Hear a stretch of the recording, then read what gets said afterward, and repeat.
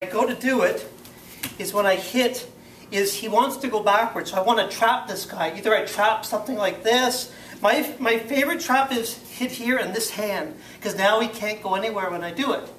And I don't want to just stay here. I'd rather get to a point where I'm getting behind him like this. Because what can he do now? Could he hit me now? I got a hand here, maybe at the nose. Crank the nose here. Grab the throat.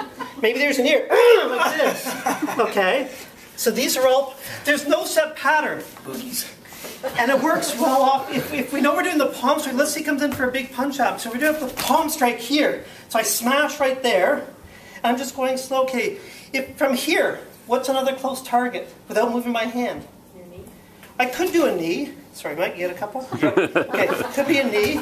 But also here, if I'm already into his eyes, I could rip down this way. Crank the head this way. Grab an ear there.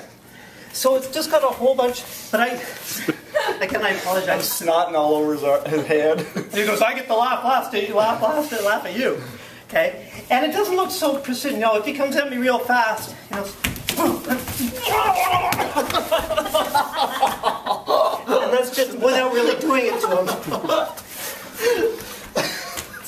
And maybe Mike can uh, sort of explain how it sort of feels. oh my gosh. Pain, but it's like grinding on your face. Like my face was just pure grind. It was, yeah. But it feels like I'm gonna pee my pants. Because it feels like I'm like pee or poo. And I'm not really doing it to him. I'm just doing like a face wash. If I was really doing it, I would have my fingers inserted in the skull there. And I'm really cranking, ripping on the nose. I'm Suffocating too, right? Like, Yeah. because it's, it's over your nose. And ideally, I like to get behind, but once it starts, this person's really defending. There's no thought process where he's like, okay, I'll do this now. They, they Right. don't bite back? They could, but it's just no, what is your, there's just no Yeah, thought process. There's, no, you're, you're blank. because I don't stop.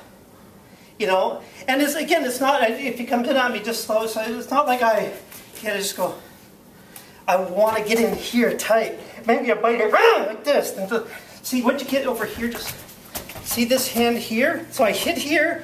This hand could either grab nose is a great handle, and then I'm into the throat as well, or grab an ear. It only takes eight pounds of pressure to rip an ear off. I could grab the groin. Boom, like this. Knee there. Smash there. Elbow there. You know, you got all these options. Sorry, it, it's It's so vulnerable.